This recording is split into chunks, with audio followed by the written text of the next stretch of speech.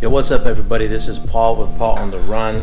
If you're new to my channel, we talk about motorcycle stuff and basically anything related to two wheels and sometimes maybe stuff with more wheels than that. Now, this is just a real quick, small little video that I am doing for a subscriber that asked me how I have my Tour Pak as well as the passenger backrest mounted on the wall. And I'm just going to show you and then I'll put a little parts list of what you need at Home Depot, Lowe's, or wherever your local hardware. And that way you can kind of get that up on your wall too, alright? So stay tuned and let me show you what I got.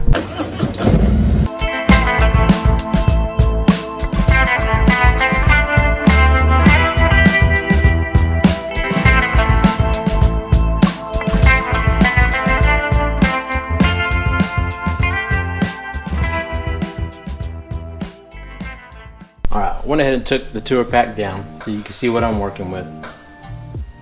And as far as the materials this goes, it's super simple, super basic. You can get this at, you know, Lowe's, Home Depot, your local hardware store, whatever. But you're gonna start off with three of these threaded rods. And they measure 24 inches by 3 eighths.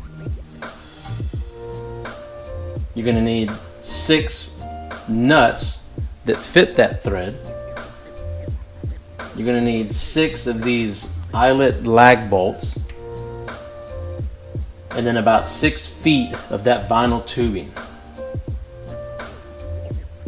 Now the vinyl tubing is meant to cushion between the thread and the finish on your passenger backrest or the Tour Pak rack that it mounts to and it just slides right on okay now once you got all those materials you're going to put your eyelet lags on the center on the center studs so on my particular wall they're 16 inches so they're 16 inches on center and then the space between each one of these is six inches okay now this was on a 2012 Harley Davidson uh, Road Glide, so now it fits a 2019 Harley Davidson Road Glide, so it's the same measurement. You don't have to worry about any of that.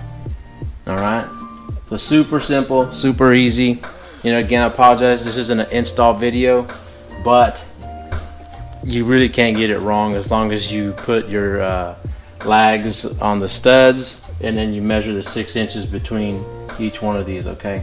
Now I know Harley Davidson does sell a a rack that is meant for that, but this but going this way is a lot cheaper, you know, um, and it's pretty profile. It's closer to the wall. The other one it sticks out like this because it mounts on top, and then you can hang some stuff underneath it, which is actually I think it's excellent. You know, it's a great idea. But I went with this route, and it's worked for me all these years.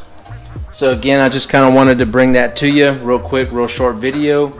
I appreciate you guys watching. If you are new to my channel, consider subscribing because I do talk about motorcycle stuff from installs to rides to whatever, you know, and this is one of those things that uh, we just talk about on this channel. People might ask questions.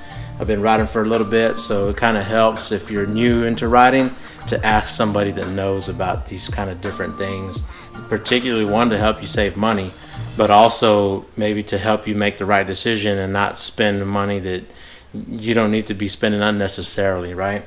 So until next time, deuces.